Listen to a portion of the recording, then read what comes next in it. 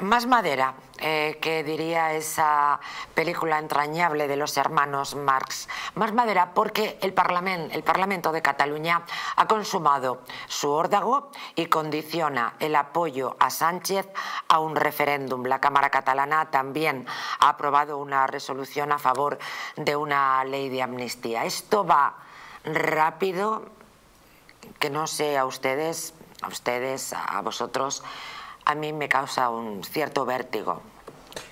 Bueno, es que al final, desgraciadamente, los criminales están en el gobierno. Y cuando digo criminales, estoy hablando de ETA y estoy hablando de gente que da un golpe de Estado.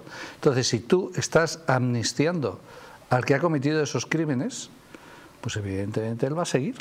O sea, es que ¿qué, qué, qué incentivo para parar va a tener una persona que dice, dado un golpe de Estado, voy a tener la amnistía y, dicen que puedo formar encima gobierno de la nación que quiero destruir. Pero pues evidentemente voy a hacer todo lo posible. Pero bueno, a partir de este viernes se ha redoblado la presión. Pero, pero lógico, porque, porque saben que necesita todos y cada uno de los votos, entonces no puede negarles nada. Y como además está metido en el mismo proyecto, pues dicen, oye, esto, esto es, es, el momento ideal, esto jamás en la vida ha sucedido. No, no, no, Entonces, lo tienen, se han visto lo, lo tienen que aprovechar ahora y lo, y lo, van a aprovechar. Para mí lo importante por traición, ¿eh? por traición del Partido Socialista. Que, eh, que había puesto Puigdemont de rodillas a, a Pedro Sánchez. Yo ahora ya lo encuentro de alfombra o sea, ya no está en genuflexión, está para que lo pisan. Para mí lo importante de hoy quizá no estaba en el Parlamento español, en las Cortes, sino estaba en el Parlamento catalán. ¿Por qué? Porque ese pacto entre Esquerra y Junts representa eh, el pacto del diablo, ¿no? El, pacto contra los españoles, el pacto contra España, el pacto contra nuestra historia, contra, contra lo que representa el pueblo español y el pueblo español que se levanta a las 6 de la mañana a trabajar, además.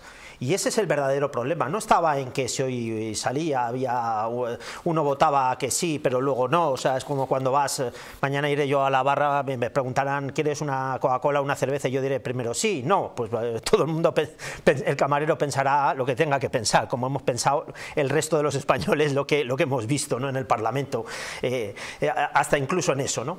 Pero quiero decir que el, problema viene de Cataluña y viene de, de, las provincias del norte de España, que son tan españolas, evidentemente, como Madrid o como Murcia, ¿no?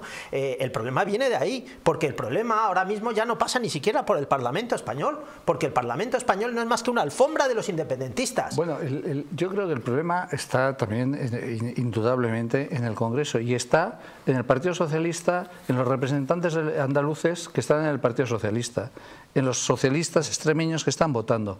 Porque esa gente que dice que defiende al trabajador, que defiende al débil, que defiende, lo que está permitiendo es que el nacionalismo catalán que han malgastado y, además han malversado fondos, o sea, robar, porque cuando un político roba dinero, eh, lo emplea en algo que no es para lo que está ese dinero, que robar, eh, bueno, se llama malversar, que precisamente pues tiene aromas atenuantes, porque entre políticos se están haciendo esos, esas, esas prebendas. Pero esos socialistas que estaban hoy en el Congreso, que habían salido por las provincias andaluzas, por, Extremadura, por Valencia, por Madrid, todos ellos son culpables de traición, culpables de traición, culpables de que no seamos libres iguales todos los españoles allí donde estemos dentro de nuestra patria. Son culpables y son responsables, son traidores, son traidores. Que no me cuente paje que luego en la intimidad dice que es una barbaridad eh, Bildu. Es mentira, miente. Paje es un traidor, es un mentiroso, porque actúa contrario a lo que está diciendo.